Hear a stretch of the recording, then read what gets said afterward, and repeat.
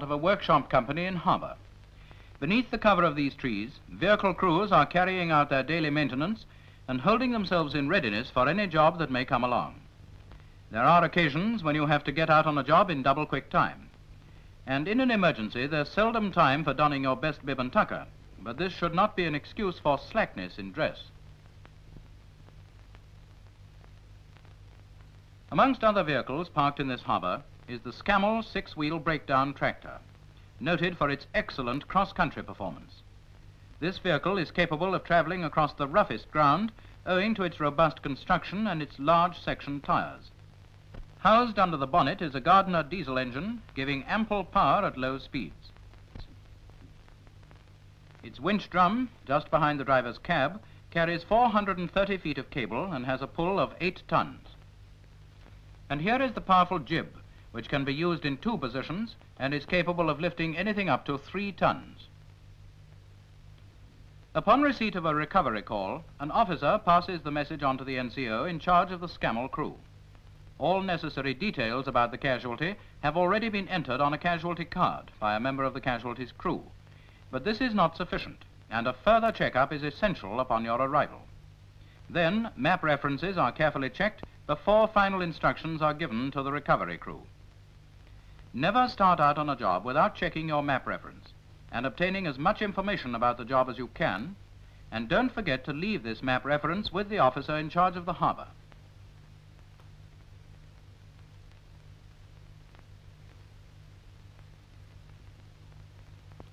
Now you can set out. A trained crew is soon off the mark. There is no last-minute panic in searching for missing equipment. Everything needed is safely stowed and secured in its proper place on the vehicle. You can take a Scammell almost anywhere. The vehicle is specially designed for cross-country work. Your front wheels are cross-sprung, giving an independent front springing effect which is particularly suitable for traversing uneven ground. But nevertheless, drivers should always look for the easiest and smoothest passage. The rear wheels on either side pivot on a common axis which gives them an ample up and down movement. Here you see the sort of ground you may have to tackle, and the way in which the wheels are able to follow the contours of the ground.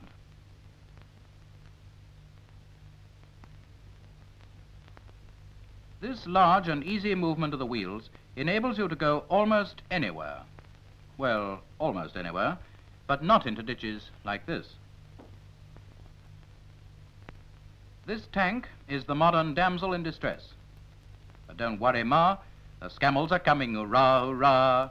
Yes, instead of the chivalrous Sir Galahad, there races to the rescue of the modern damsel, the modern recovery vehicle.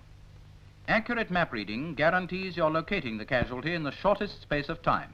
It also enables you to anticipate any difficulties in the geography of the location. On active service, this anticipation is of paramount importance.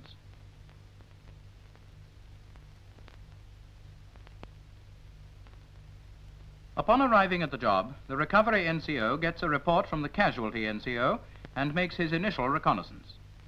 A thorough initial reconnaissance is extremely necessary. It saves time, trouble, and very often prevents accidents. There are many things an NCO must take into consideration before operations begin. The condition of ground surrounding both casualty and recovery vehicle and the state of mechanical damage to the tank helps to determine the type of pull needed for the recovery of the casualty.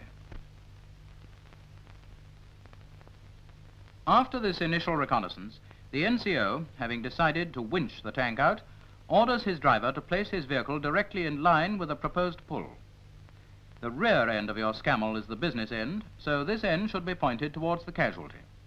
All signals are given by hand, and when necessary are relayed to the driver by a standby who would take up a position a few paces in front of and away from the cab. If at any time you have to winch across or on a road, always place a man on traffic control. This is of course not necessary when working away from a road as in this case. And now with your vehicle backed into position, winching operations may begin. The only person on the job with authority is the one in charge of recovery crew. He is the only one to give orders. In other words, the man who plans the job must carry it through.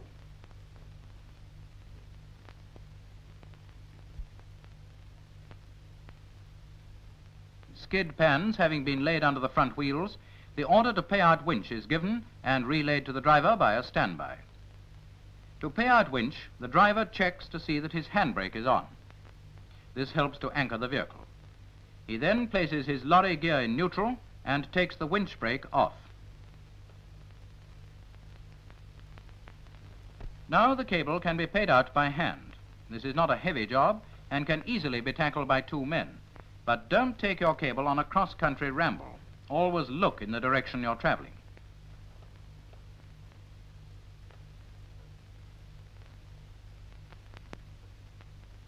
Sufficient length of cable is now run out to the casualty. Here you double in your tracks, taking the free end of your cable back to your holdfast or ground anchor. This is usually laid parallel with your recovery vehicle whenever conditions permit.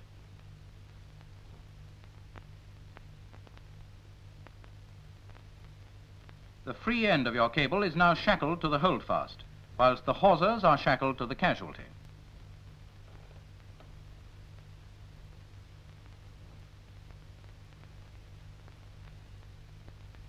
Every item of equipment now laid out must be inspected by the NCO before winching operations begin. The pull is known as a two to one. That is from Scammell via the snatch block to ground anchor. Once everything is to his satisfaction, he orders his driver to take up slack. You should always run in your slack before allowing your winch drum to take up the strain. Any sudden jerking is bad for the drum and might easily snap your cable.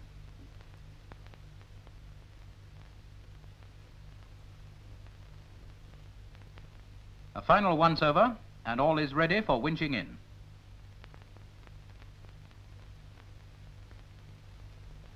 The signal is given and relayed to the driver by the standby. To winch in, the driver first applies his power transmission brake, then his road wheel brake, which helps to anchor the vehicle. Now he checks to see that the lorry gear is in neutral and starts the engine depresses the clutch,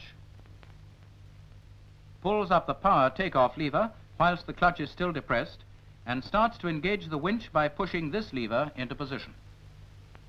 This Scammell chassis may help to give you some idea of what happens. Here is the winch drum, and this is the winch drive pinion.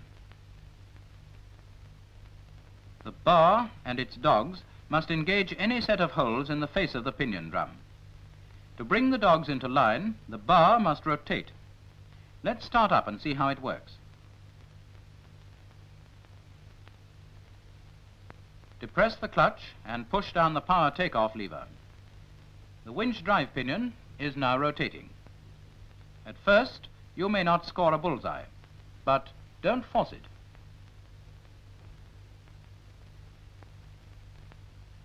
Remember, the bar has to line up with those holes in the rotating wheel, so you feel for it, and it finally engages.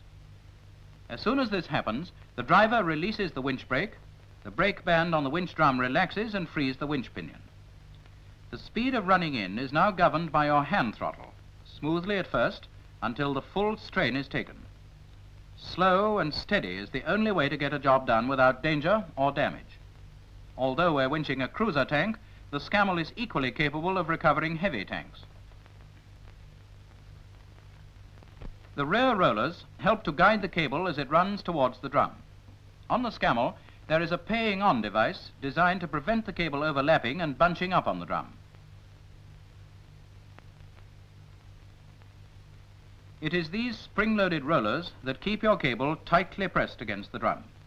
Another thing peculiar to all Scammells is the winch protection afforded by a safety cutout device which comes into play whenever the strain of your cable exceeds 8 tons on a direct pull.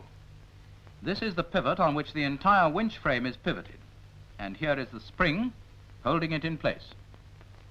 When excessive strain on your winch causes the frame to move on the pivot, this movement extends the spring, and this small wire shuts off your engine.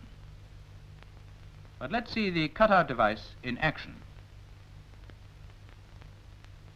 The frame swings on its pivot, extends the spring, and the wire cuts off your engine.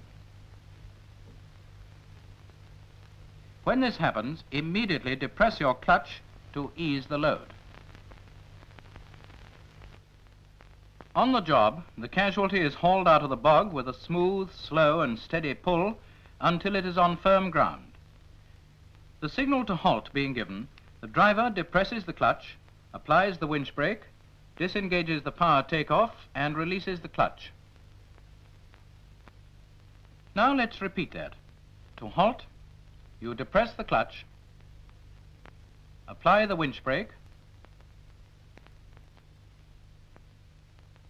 disengage the power takeoff lever, and release the clutch. Before you can unshackle, it is necessary to slacken off your cable. This allows sufficient play to withdraw the shackle pins. When on the job, don't leave all the work to the other man. Don't go dreaming all the time. There is plenty of work for everybody. Do I sleep? Do I dream? Or are visions about?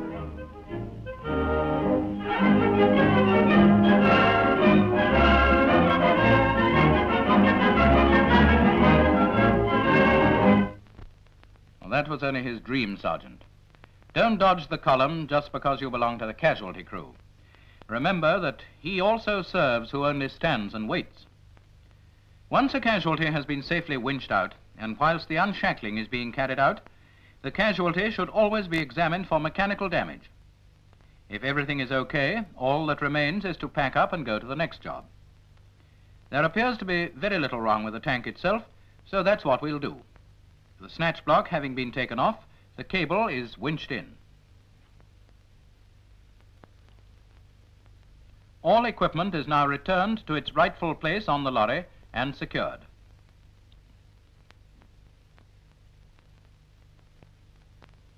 The NCO of recovery satisfies himself that everything is all right with the casualty. He probably tells the tank commander not to make a habit of this sort of thing, though he can always rely upon recovery to get him out. Now he can go off onto job number two. This the NCO finds already entered upon a casualty card.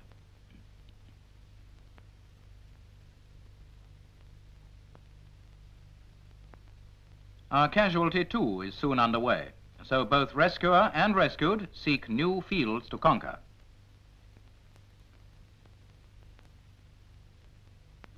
Like other recovery vehicles, the Scammell is capable of towing itself out of difficult ground. This is done by passing the winch cable around the rear pulley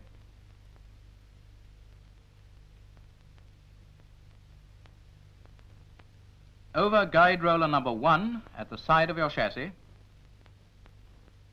under guide roller number two and through these two front rollers. The special locking plates prevent any possibility of the cable riding over the rollers. Now, by attaching the free end of your cable to an anchor or tree, you can haul yourself out of any difficulty. But don't make a habit of it. It's your job to pull others out, not yourself.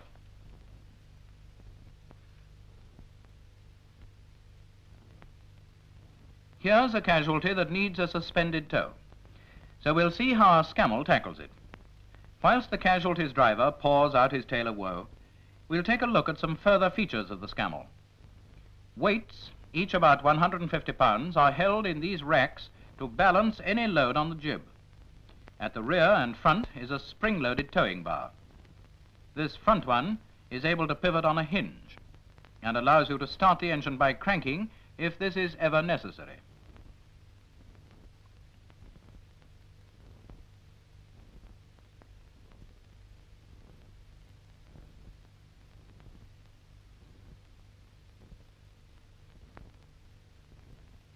The rear bar is identical except that it doesn't pivot.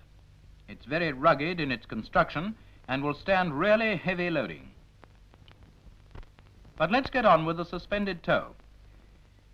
The NCO decides to use the jib and the crew gets to work. When traveling, the jib is always kept in its stowage position. This position should never be used for lifting. It's too close to the tailboard. To use this jib, first slacken its cable the hook must be kept clear of the pulley. And now to extend, first loosen the locking pin nut to remove this locking pin.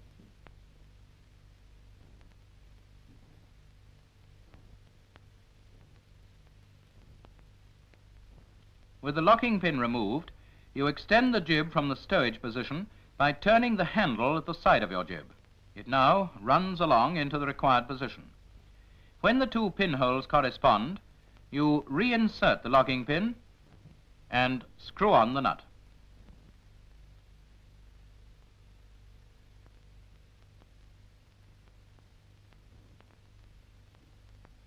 Now you're ready to give a suspended tow, so back your lorry towards the job. Once the front of the casualty is lifted by the Scammell's hand-operated jib, a triangular distance frame is lashed to its front and to the rear towing hook of the Scammell, thus preventing sway in transit. Having hitched up, always give the job a last once-over before setting off, and check up again after travelling a short distance to take up any slack after the load has settled down.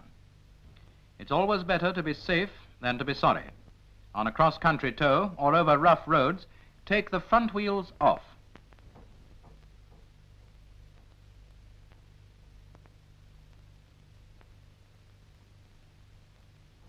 And so back to the REME workshop where you can deliver the casualty for overhaul.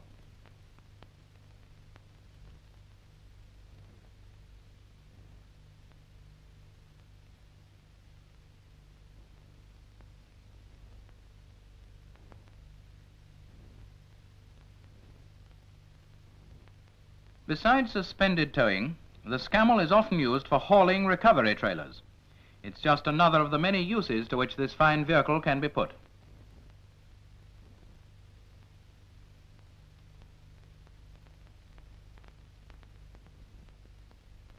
Here is another job for the Scammell with its jib fully extended. A jib in this position can lift anything up to two tons and gives increased height over the three ton position. When next you're up to your neck in trouble, console yourself in the thought that a Scammell six-wheeled breakdown lorry is racing to your rescue, and with its powerful winch and jib, it will soon pull you out. And whether the tank is ditched, bogged, or bellied, it's the Scammell that'll get it back into action again.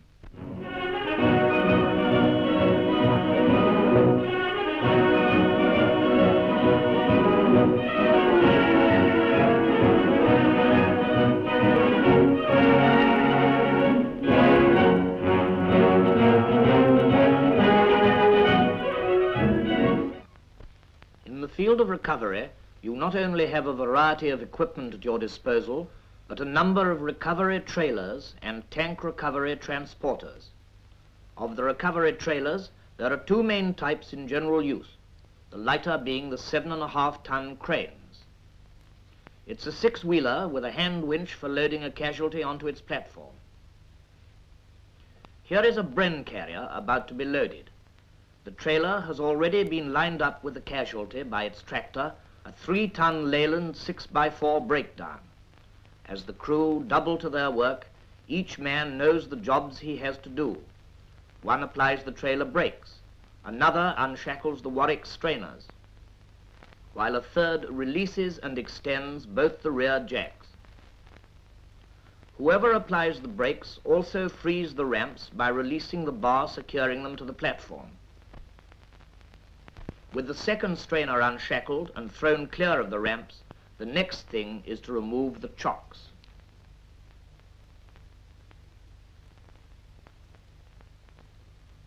Then attach one of the two winch handles.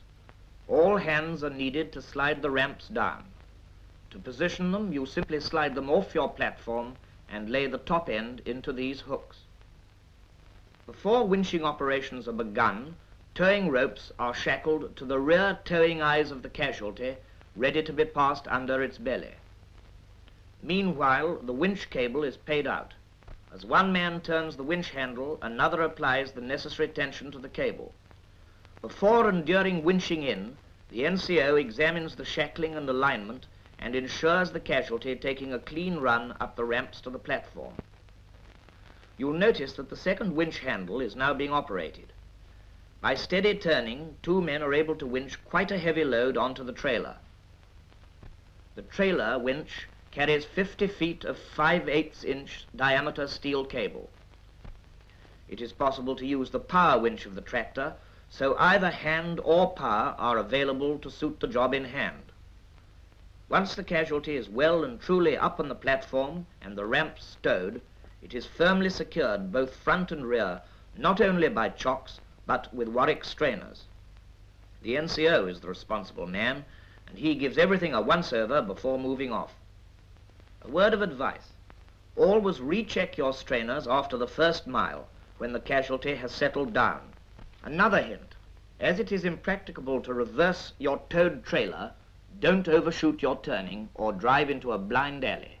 You'll have a hell of a job getting out again. Another use for the crane's trailer is giving a suspended tow to a heavy-wheeled casualty.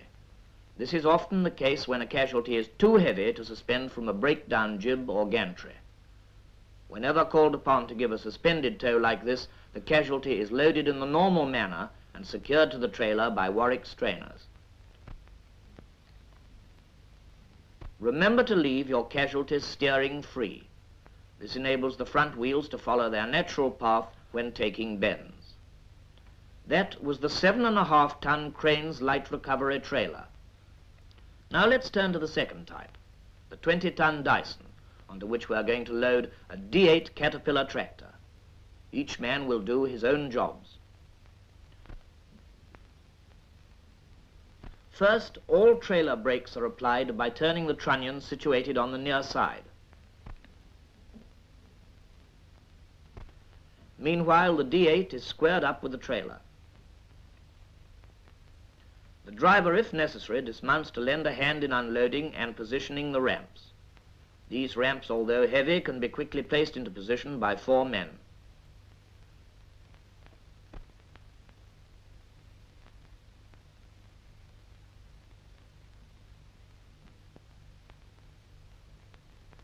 Never drop these ramps on the ground.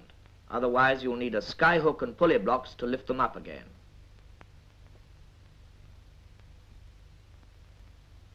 When both have been positioned, it is essential to maneuver the D8 into direct line with them. The NCO mounts the platform so that he can check alignment and signal to the D8 driver who from his driving seat cannot see the ramps. Always get the D8 in direct line before mounting the ramps to avoid steering when actually on them. While the Dyson trailer can be used for transporting other equipment, it is normally employed for carrying the D8 tractor.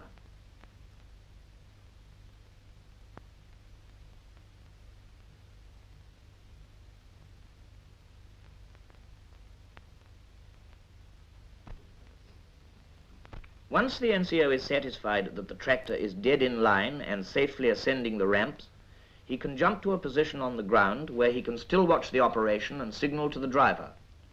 Failure to jump down might give him flat feet for the rest of his life. Once on the platform, the D8's track brake is applied and the engine stopped.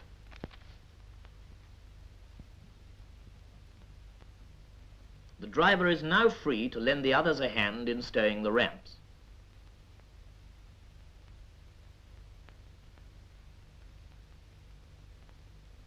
When these have been stowed underneath, the tractor is secured by front and rear Warwick strainers and the trailer brakes released. The Neat's parking brake and transmission brake are still applied on the Scammell so she won't run away. Before setting out on the road, the NCO should check the strainers both front and rear. Remember, these will need rechecking after the first mile on the road.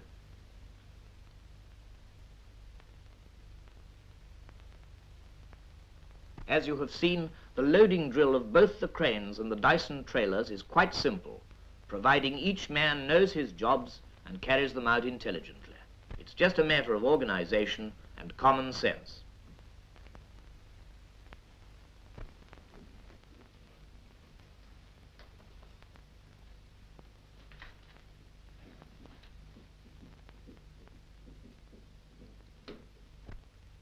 And now from trailers to tank recovery transporters.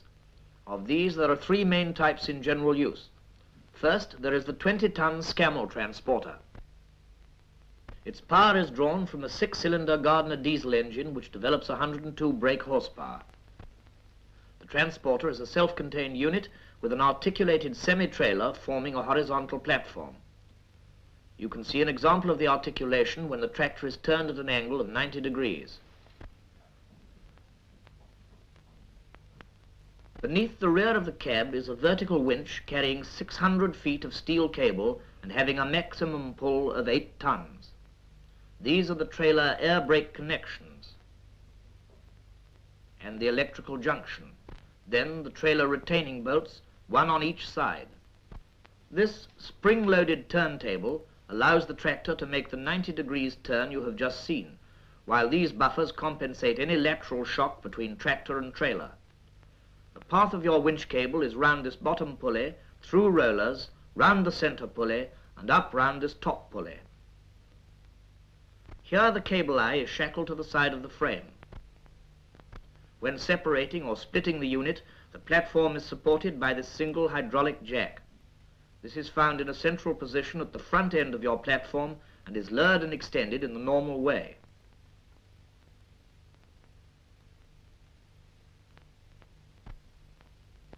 These tank locating chocks are adjustable and are provided to fit the inner sides of the tank tracks when loading. The ramps are detachable and are hooked on projections and secured by strainers. To position them, after the strainers have been released, a bar is inserted first into the lower holes to lift them off the projections, then into the upper holes to lower them into position. Top end is hooked onto the projections at the rear of the trailer platform. You have now seen the main features of the 20-ton Scammell tank transporter, which can always be identified by its horizontal platform and detachable ramps. Now for the 30-ton Scammell tank recovery transporter a vehicle that has already been thoroughly tried out and has proved its efficiency in many theatres of war.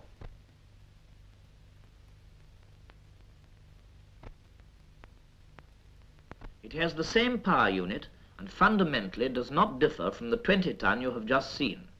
It does, however, have a sloping platform instead of a horizontal one, and drawbridge type ramps in place of the detachable ones. In spite of its larger size, it's just as maneuverable as its smaller brother. Here it is, being reversed with ease through the narrow entrance of a railway siding.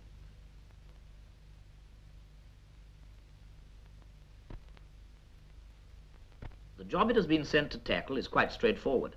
It has to load and carry away a General Grant. The first thing to do then is to maneuver the transporter into direct line with the tank. We are going to show you how an efficiently trained crew in which each member knows his tasks can carry out a loading operation in less than 10 minutes. Here is the crew, and each man has his specified jobs from start to finish. No time is wasted in doubling to action stations. Let us watch this loading operation, bearing in mind that the process is the same on each side of the trailer. The first job is to position your skid pans, flat side to the ground as we are working on a hard surface. One is put behind each front wheel and the transporter reversed onto them. Now this has been done, you may apply the brakes on each of your rear bogies by turning these screws anti-clockwise. There are four of these screws, two on each bogie. The ramp winch handles are carried in the equipment box beneath the platform. These are placed on the ramp winches and tension is applied to the ramp winch cables. The cable guides are then taken and placed into position, forming a stanchion for the ramp winch cables and giving sufficient leverage so that one man can easily raise or lower a ramp. Next, the stay nuts are unscrewed sufficiently to enable the lower end of the stays to be removed from their clips on the chassis.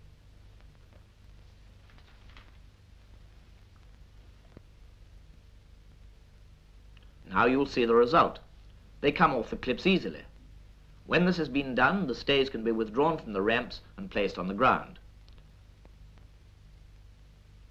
Then, as the ramps are lowered, the ramp struts can be removed and placed beside the stays. Now for the triangular ramp supports, which are taken off their hooks on each side of the platform and are placed into position while the ramps are being lowered. They should be placed at sufficient distance away from the rear of the trailer so that the tips of the ramps, when lowered, will rest upon their apex. Good judgment in placing these will often save a great deal of time.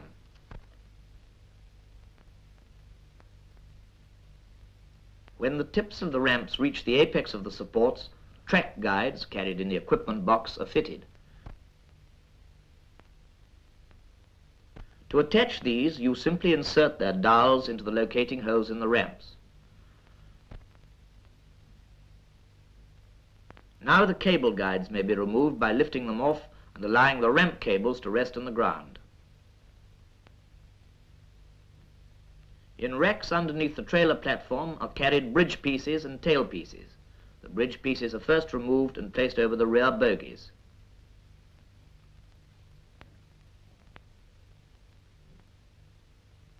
These now give a clean run from the ramps to the transporter platform.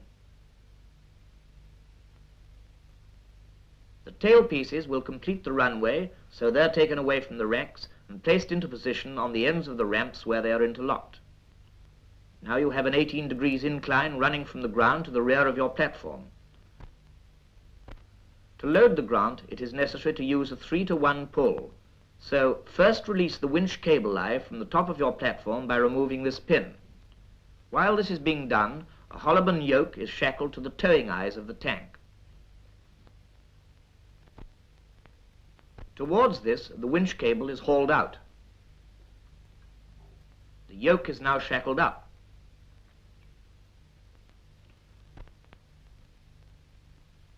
You will note that while two members of the crew are hauling out the cable, the other two are taking all necessary equipment to the tank, including a double sheave snatch block. With sufficient cable paid out, the lower bight or loop is then placed round the lower sheave of this snatch block. The yoke and the block are now shackled together. Secure shackling is of vital importance, as, like the proverbial chain, a layout is no stronger than its weakest shackle. After this, the top loop or second cable bight is placed round the lower sheave of another snatch block, which is then shackled to the apex of the platform. The center return of the cable is hauled towards the tank and its eye attached to the front end of the first snatch block.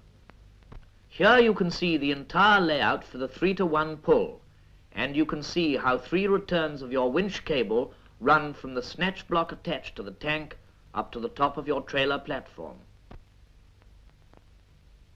All is now ready for the winching operation. The driver returns to his cab in order to operate the winching controls. Shackling is carefully inspected by the NCO. This must always be done before winching is started. The co-driver takes up a position from which he can be seen by the driver when relaying the NCO's instructions. Now the ready signal is given and relayed, and this is closely followed by the signal to winch in, which is conveyed to the driver who puts the order into effect. First, the slack cable is carefully wound in until the full tension is applied. Then, with slow acceleration, the tank starts rolling towards the ramps. You can see now how essential it is to have the transporter dead in line with the tank. This lesson is driven home to you once the tank starts fairly and squarely to surmount the ramps.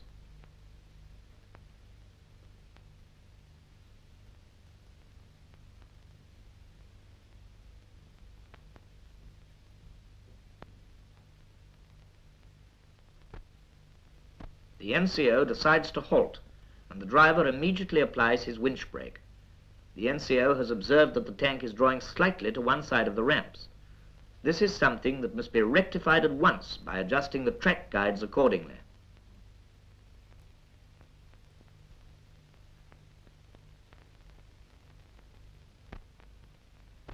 This done, the NCO reascends to his winching station and orders winching operations to recommence. The signal is relayed to the driver who simultaneously releases his winch brake and starts winching. The Grant continues its journey up the ramps, this time to the complete satisfaction of the NCO. When the rear of the tank is halfway up the ramps, the signal is again given to halt, this time in order to attach the ramp-raising hawsers. These hawsers are carried in the equipment box and are attached by hooking their ends to the tank and the ramps. After this, both tailpieces are detached from the ramps and placed on the ground. Then both track ramp guides are removed and the ramp raising hawsers given the once-over by the NCO before recommencing to winch in. With the winching in, you'll notice how the ramps are drawn up as the tank ascends the platform. As you've seen, each ramp-raising hawser is attached by having one end hooked to the shackle on the rear towing eye of the tank and the other connected to the tubular cross member of the ramp. Owing to the weight distribution on the grant, the center of gravity, shown in this instance by a chalk mark, is to the rear of its center bogie anchorage.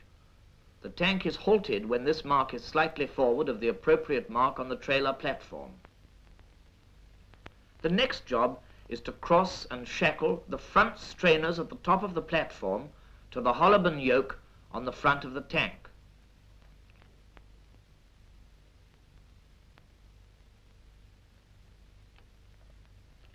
After the trainers have been adjusted, the driver is ordered to ease off his winch brake. The tank then rolls back until its center of gravity coincides with the appropriate mark on the trailer platform.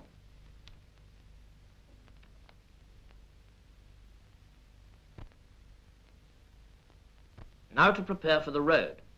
Tail pieces have already been stowed. Next, the bridge pieces are removed and stowed away in the racks.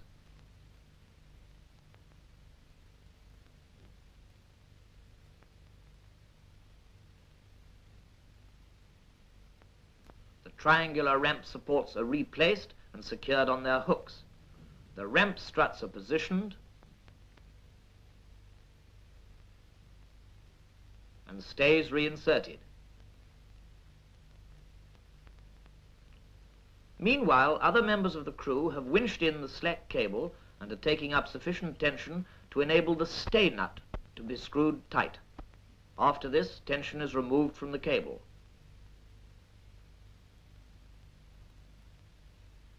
Now the ramp raising hawsers are removed and stowed away.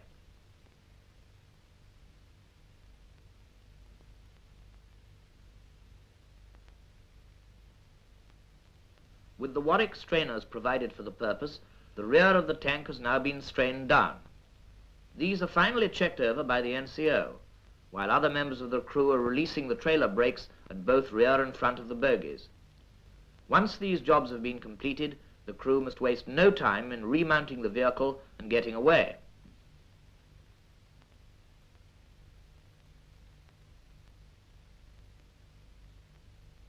After a general once-over by the NCO, all is ready for the broad highway.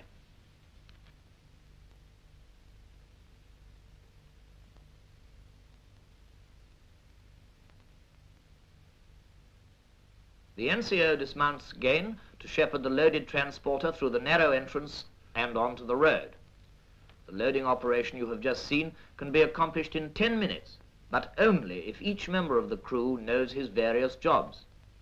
Teamwork must be the keynote throughout the entire operation. Now we'll see the 30-ton Scammell tank transporter tackle another job. This time it is to recover and load a Covenanter, which is bellied and badly bogged. For this job, it's necessary to split the transporter. That is, to remove the semi-trailer so that its tractor can be used as a normal recovery vehicle. This separation is as simple as a Hollywood divorce. In the same way as you prepare the trailer for loading, you first of all apply the brakes on your rear bogies.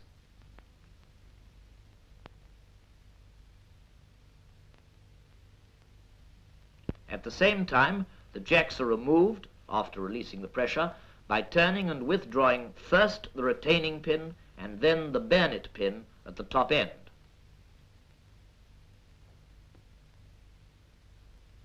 Now the jack is carried to its position at the side of your trailer. The other jack is being similarly positioned on the far side. To provide a firm base for the jack, a gun plank is taken from the rack and placed upon the ground immediately below the jack sockets.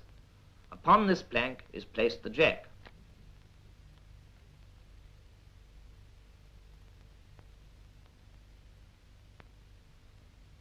The valve is closed and the jack pumped up until its pinhole corresponds to those of the trailer sockets.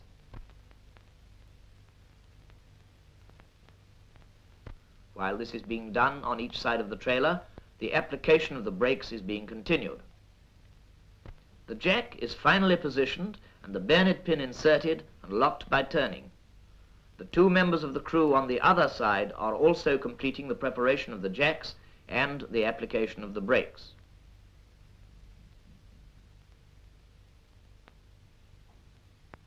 The next step is for the driver to mount his cab in order to winch in the slack cable preparatory to unthreading it from the semi-trailer.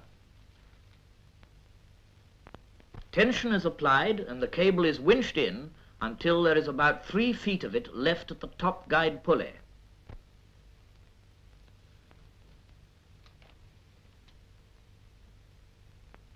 When this limit is reached, the order to halt is given. Now the cable eye is removed from the side of the frame by withdrawing the bayonet pin.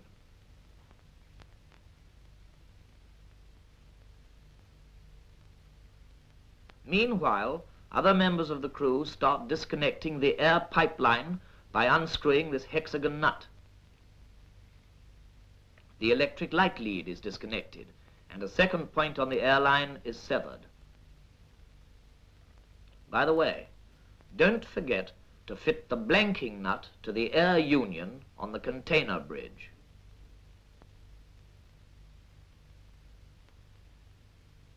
After this, the airline bracket is unbolted and lifted from the trailer.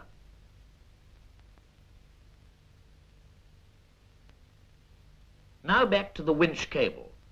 On the center pulley, a retaining pin is removed and the cable eye passed down and round.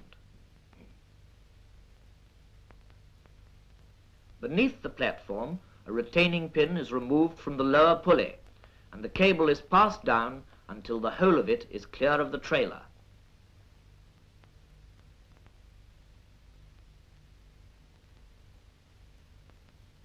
The cable is then winched in until the eye can be passed out through the rear rollers. When this has been done, it is ready for straightforward winching. Now the jacks are raised preparatory to removing the two retaining pins which secure the trailer to the tractor turntable. These pins are removed with the aid of an extractor after first removing the securing bolt. The remainder is quite a simple procedure by screwing in and locking the extractor bolt, then putting over it an extractor sleeve. A washer is now placed over the bolt and the extractor nut screwed on. Continue screwing this nut until the retaining pin is finally withdrawn.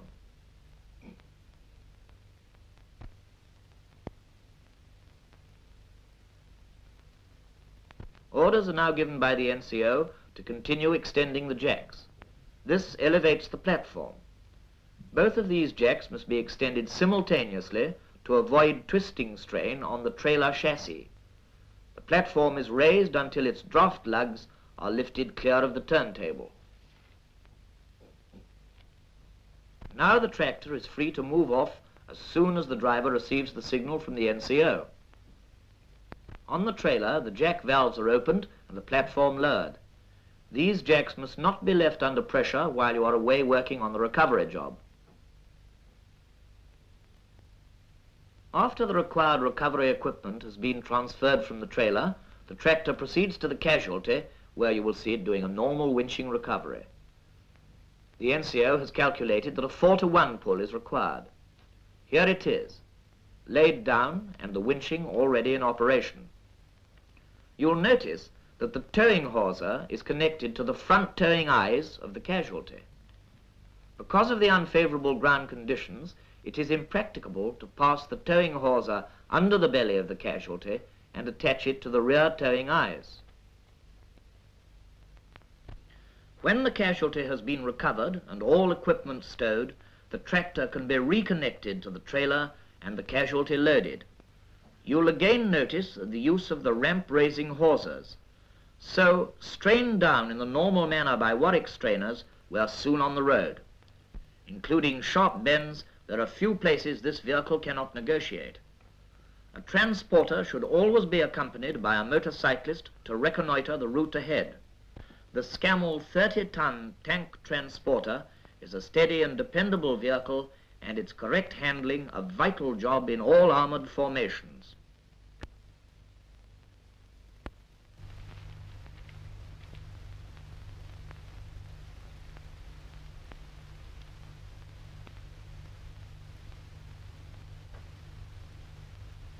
Another grand transporter is the 40-ton Cranes Tank Transporter Mark II.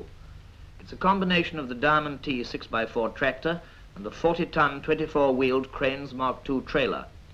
In spite of its size, the loading drill's simple and straightforward, as you'll see. A Churchill with partially locked tracks is about to be loaded, so first the trailer must be aligned with the tank. As it's impracticable to reverse the transporter when connected in the normal manner, the trailer is nosed into line. This method makes for ease of maneuver.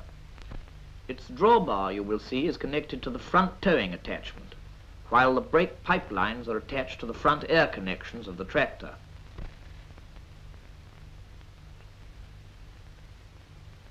By the way, the trailer has no outer guide rails and the inner guide rails are adjustable. Once it's squared up with the job, the tractor's turned round and reconnected.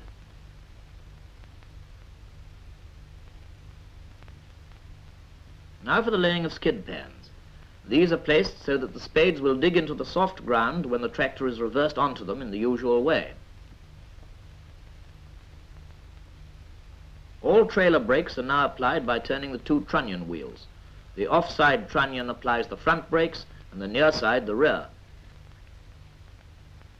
The next operation is to position the hinged triangular ramps.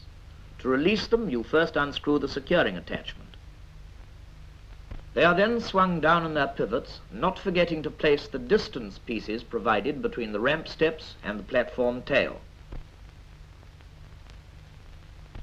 All the tackle for a 5 to 1 pull is now unloaded. The necessary shackles and skidding and two double sheave snatch blocks. The tank towing hawsers needed will be found in the casualty. Incidentally, the Diamond T must carry 7 to 14 tons of ballast in order to obtain sufficient tractive effort. Here's the layout of tackle for a 5 to 1 pull. The winch rope or cable passes from the rear of the tractor over the roller. This double sheave snatch block is attached to the trailer and carries four returns of the cable. Then there are five returns running down to the second snatch block under the belly of the tank, which is connected to two of the rear towing eyes. With your casualty in dead line with the ramps, no difficulty should be experienced when loading. The winching operation is conducted in the normal manner. To load this Churchill with partially locked tracks means applying approximately twice the pull required to load one with free tracks. The fact that this can be accomplished is a striking tribute to the strength and sturdy construction of the transporter. With the casualty safely on board and after the loading tackle has been disconnected and stowed, the casualty is strained down, a single strainer on the front and crossed Warwick strainers at the rear. Never allow the threaded portions of your strainers to foul. Once again, remember to recheck your straining after the first mile on the road.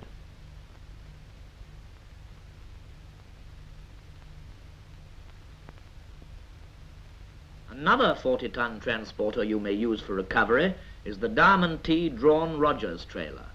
This differs very slightly from the cranes and when on the job is operated in a similar manner.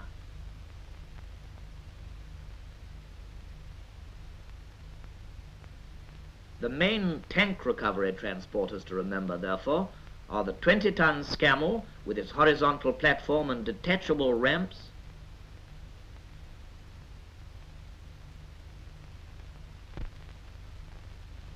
The 30-ton Scammell with its inclined platform and drawbridge ramps,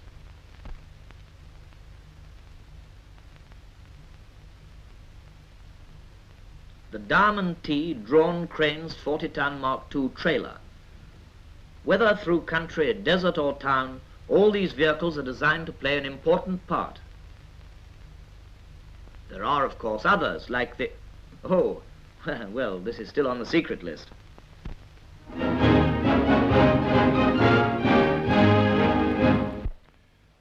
Variety is the spice of life. Ask any recovery unit. You ditch 'em, we fix 'em is the REME slogan, and out they come.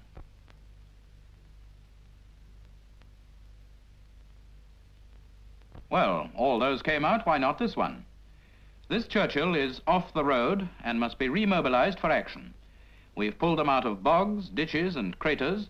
Now here's one bellied in a gully. It's a nasty packet of trouble, and calls for slightly different treatment. But what goes in must come out, so here goes. Now, this is the man who starts the ball rolling, the recovery NCO. We'll join in the reconnaissance and see what sort of a job he's got to tackle.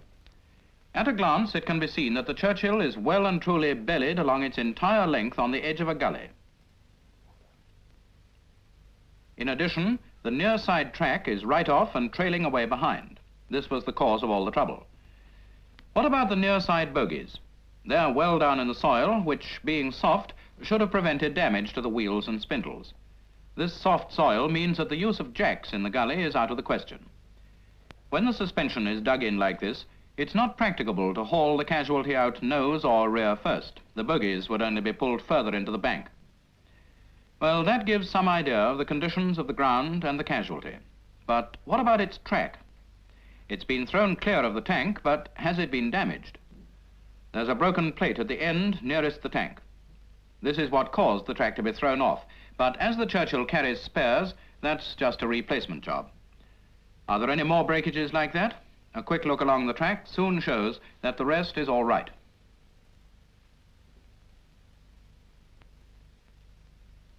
Now, what about the offside of the casualty? Well, this track is off its bogies. Still, it's not broken, and that's about all you can say for it. This definitely decides the NCO against pulling the tank forward or backward. If he did, the track would come right off. From this initial reconnaissance, four important things have been learnt. First, that the tank is bellied with its near side bogies well down in the gully. Second, that the near side track is right off with a broken plate. Third, that the offside track is off its bogies. Finally, the ground conditions in the gully are such that any attempt at jacking would result in a lot of cursing, and that's about all. Now, how does the NCO intend to tackle the job? That, of course, depends on the equipment he's brought. Well, there's the vehicle. Do you recognize it? Yes, it's the good old Scammell breakdown tractor. Your casualty may be as stubborn as a mule, but with a capable crew, there are few jobs the Scammell can't take in its stride. With the motorcyclist escort already posted as sentry, the crew soon get their Scammell from the temporary harbour. You'll have noticed that they have fitted overall chains, a wise precaution before venturing on soft ground. What about its equipment? Well, the vehicle carries its normal complement plus a few additional items, but more about that in a moment. All arms are stowed in racks on the Scammell. This would be the rallying point if the sentry gave the alarm. Now, how is the job going to be tackled?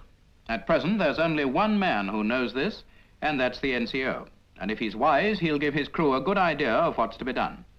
So, NCOs, always bring your crews into the picture. Now, you remember, the NCO decided that he could neither jack this tank up, nor pull it out nose or rear first. What, then, is his plan? This diagram shows how, at the moment, the Churchill lies bellied.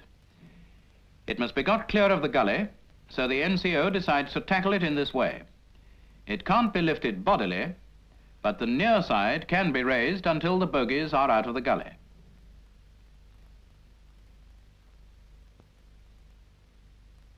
It's now on its offside track, and once up, it will be pulled so that it slides on its offside track until the tank is well clear of the gully and on even ground. Here it will be tilted until the near side bogies are raised off the ground, ready for the cast-off track to be pulled underneath.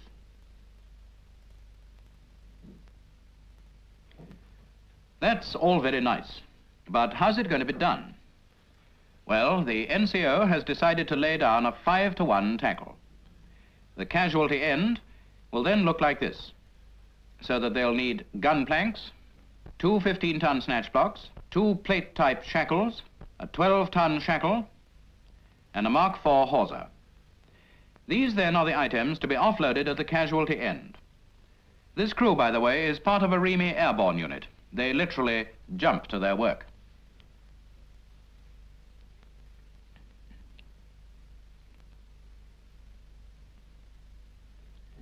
Here's the equipment laid out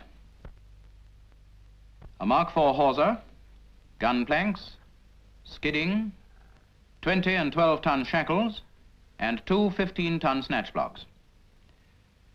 Now the first job is laying the gun planks along which the tank will slide during winching.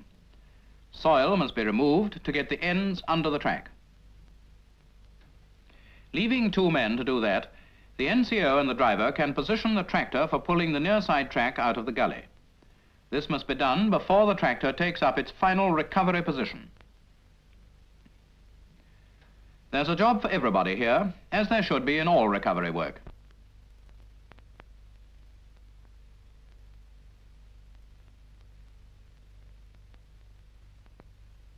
Now, where's the NCO going to put the track?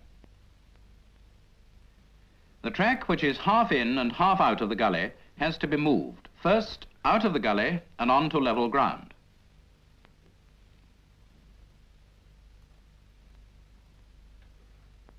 Then it is pulled towards the tank so that it is in alignment with the near side bogies, in the position they will be after the tank has been recovered from the gully.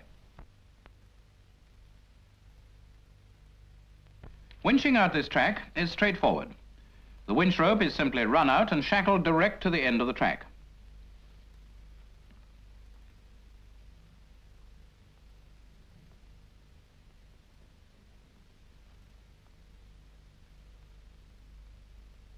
Manhandling this track would be an impossible job with a crew of only four, but of course it's easy meat for the scammell.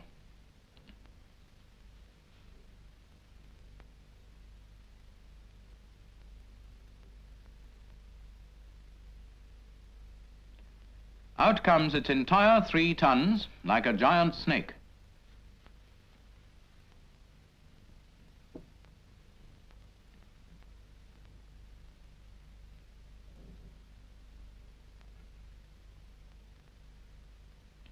Now the winch rope is unshackled and run out towards the casualty.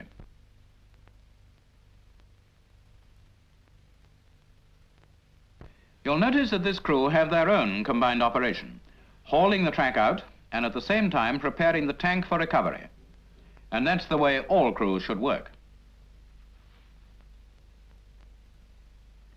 While the NCO is down this end, how are those diggers getting on? They've dug and positioned five gun planks already and are digging a place for the sixth.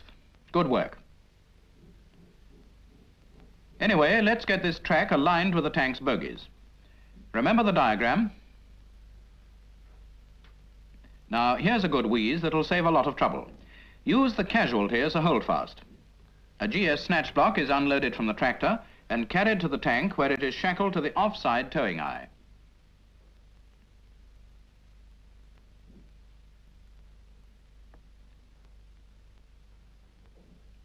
The cable is placed into the snatch block and the snatch secured. The tank thus makes an excellent holdfast. By now, along the offside of the tank, all gun planks will have been positioned. They are evenly spaced along the length of the track and inserted well under to prevent the track digging in and to enable it to start riding along the planks. The next job for these two men is to attach the ends of the Mark IV hawser to the front and rear of the tank. They take the front end first and attach it to the single towing eye. Quick release shackles on the Mark IV hawser make this rapid and easy. Now, how are the others getting on with the track? By the simple method of attaching that GS snatch block to the tank, passing the cable round it, the track is winched into its final position. It wasn't even necessary to move the scammell.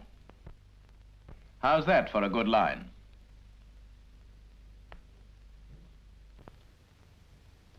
Now you remember that one end of the Mark IV hawser has been shackled to the front towing eye of the tank. The other end is taken to the rear, where it is attached to the near side towing eye. To lengthen this end of the hawser, the offside shackle is used as an additional link. Remember this with a Churchill, there are two rear towing eyes, one on either side, but in the front, only one in the center. This difference in position is partially adjusted by this additional shackle on the rear rope, which has the effect of lengthening it, and by skidding under the front rope, thus shortening it. So they have compensated for the different towing eye positions. The line of pull is thus brought central, a very important point. Now you see the result. Here is the apex in dead center of the tank. Without the skidding and extra shackle, this is where it would have been, much too far to the rear, so the tank would have slewed during winching. Equally important is the use of protective skidding to prevent damaging the tank by lifting the hawsers clear of the sand guards and other soft parts of the tank. We want to pull it out, not apart. Now to get cranking on the snatch blocks. With the apex central, one 15-ton snatch block is shackled direct to it with a 20-ton plate-type shackle.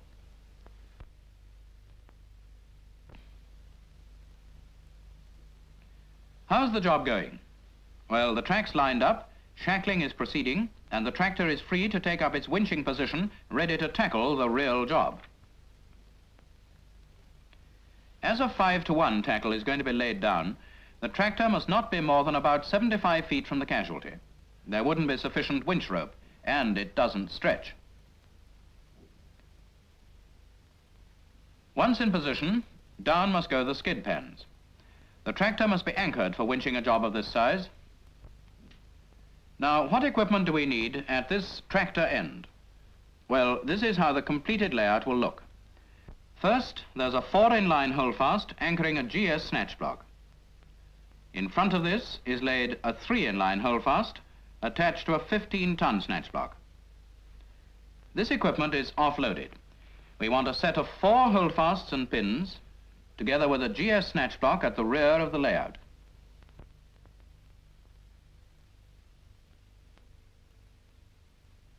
To the front, a set of three holdfasts and a 15-ton snatch block. Both sets of holdfasts are shackled to their respective snatch blocks and held with one pin only until they've been lined up after which the remaining pins will be driven in. You can see that the holdfasts have been laid just far enough away from the tractor to ensure that the winch rope will not foul it during winching. By the way, what's happening at the casualty end? The other two men are completing shackling the two 15-ton snatch blocks. The work goes on simultaneously because equipment was unloaded where it was needed. This crew use their heads and save their legs. And now for the final stage of the 5 to 1, hauling out the winch rope. So with the winch brake off and applied manpower, out it comes. Now it's no use having a winch rope all wound out and nowhere to go. We'll follow its journey with the aid of both picture and diagram. Now watch this. Out it comes from the tractor, and then to the 15-ton snatch block nearest the tank. It is passed round the snatch block.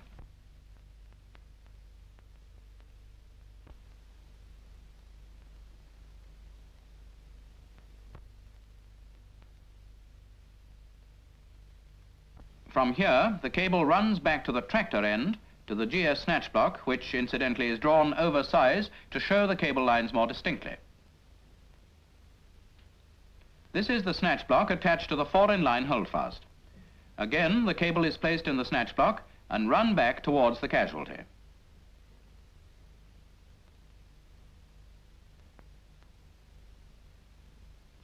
This time, it runs to the second 15-ton snatch block.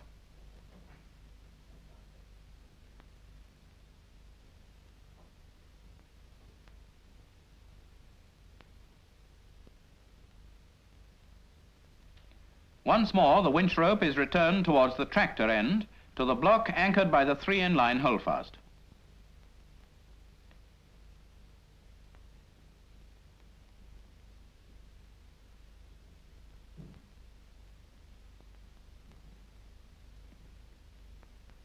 This 15-ton snatch block is the last bend in the road, for the winch rope returns finally towards the casualty.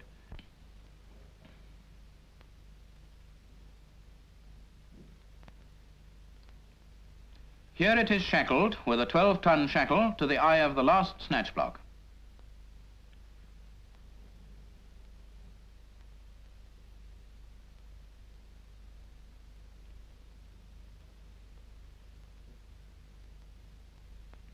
And so the 5 to 1 layout is completed with, as you can see, each holdfast held by one pin only. The required pull, including frictional loss, is approximately 35 tons. Our tractor can give us only 8 tons. So that's why a 5 to 1 tackle is needed. With this tackle, the casualty can be winched slowly. On a broadside recovery like this, winch control is most important. By using a 5 to 1, we've geared down so that for every 5 feet of cable winched in, the tank will move only one foot. It's like using a gearbox. The greater the load or gradient, the lower the gear necessary. Is that layout quite clear now? Like to have one last lingering look at it? It's known as a simple 5 to 1 because the one winch rope is used throughout the entire layout. Being a 5 to 1, it must have five lines or returns of cable running back from the casualty. Here they are, one to the tractor. Two anchored by the GS snatch block shackled to four holdfasts. And the other two returns to the 15-ton snatch block shackled to three holdfasts. This is a fine layout, but has it been correctly lined up? A good guide is the rear towing hook. If the winch rope leaves the rollers directly over the hook, then your tractor has been correctly positioned. This lining up is vital, and to a good crew is as natural as lining up for pay parade. With everything ready for winching, the crew have no need to cross their fingers when the tackle takes the strain.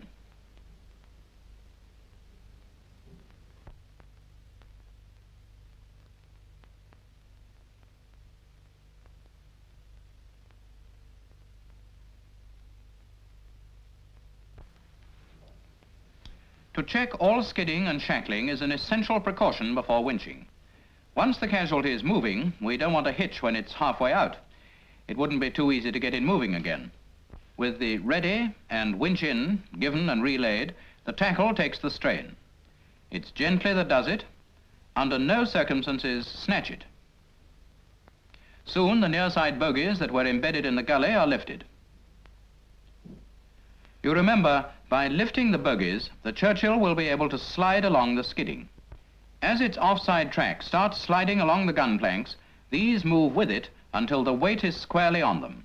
It's like the broadside launching of a ship, except that this one's coming out and not going in.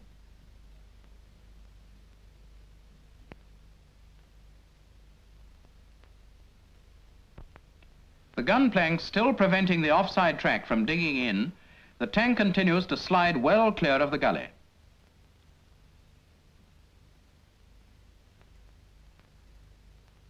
Sliding stops only when, having ridden right off the gun planks, the offside track digs in. Now the continued winching pulls up the near side.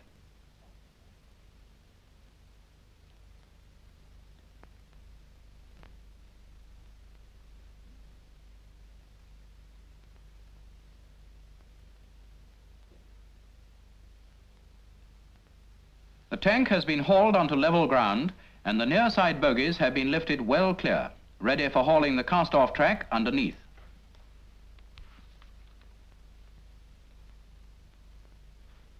Before moving the track, there's that broken plate to be replaced. Spares are carried on the side of the tank.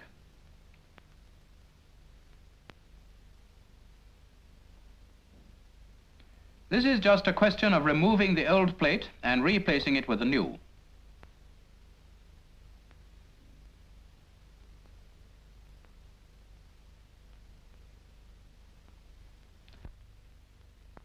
We can't use the tractor winch for hauling the track. It has a full-time job holding up the tank. So a portable winch is positioned and its cable run out along and under the near side bogies.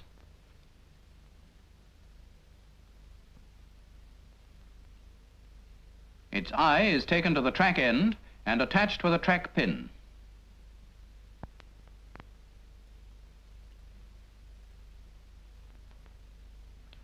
With the cable thus attached, the portable winch is soon in operation and the track moves on its slow but sure way.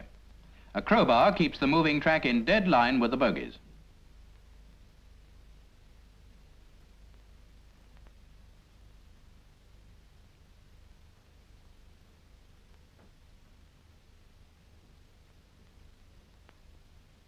The front idler sprocket is slacked off in preparation for joining the track.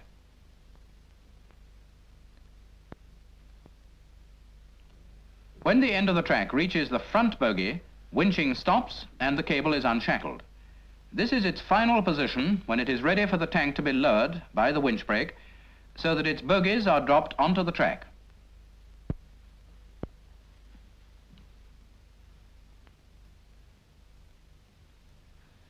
There's an alternative method of doing this, so we'll go back to where the tank was held up and the track was still at its rear. Now this time, jacks are used. The tank being held by the layout only until the jacks are positioned, one at the rear and one at the front.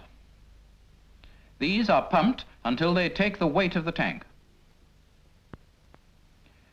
When they're well up, the handles are removed and the layout is slackened off.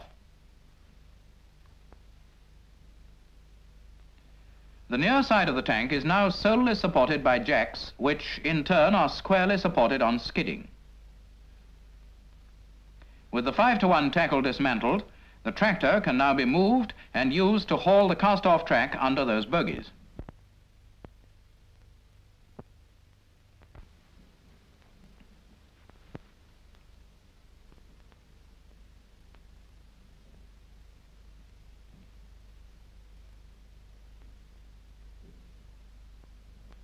The tractor is positioned in front of the tank and in line with the near side bogies. The winch rope is hauled out under the bogies and attached to the track.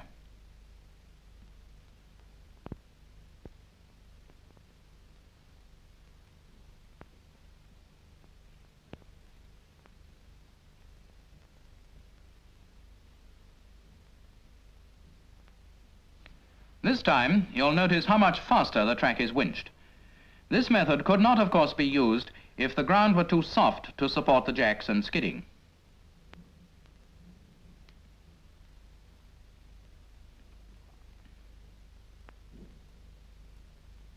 Here it is once more under the front bogie, ready for the jacks to lower the tank onto it.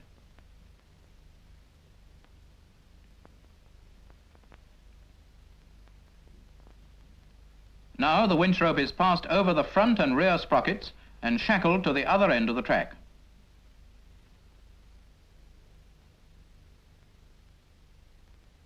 At this point, one man must jump in the driver's seat to free the near side sprocket.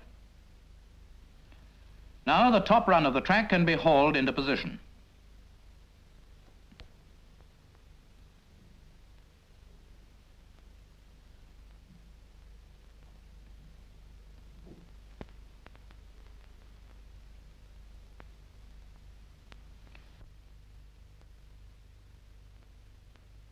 You can see the ease with which this heavy track is hauled over the rear sprocket, along the track guides and out over the front idler.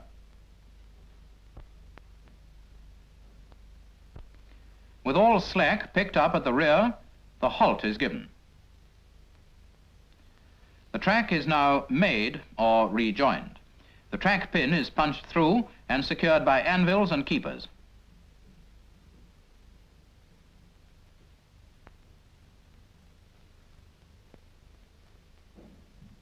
When the idler sprocket is adjusted to tension the track, it is locked and the sprocket guard replaced and screwed down. That's all right for the near side track, but what about the offside? Nice work, Corporal.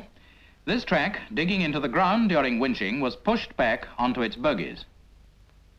Now then, what have we learned from this recovery? First, to recover a casualty broadside, using a 5 to 1 tackle. Second, to support the tank with a layout while its track is positioned with a portable winch. Third, to support the tank with jacks while its track is positioned with a tractor winch. A good crew always has a last look round before the tank, a casualty no longer, is handed over to its crew. Then, of course, there's their own equipment to be stowed in readiness for the next job.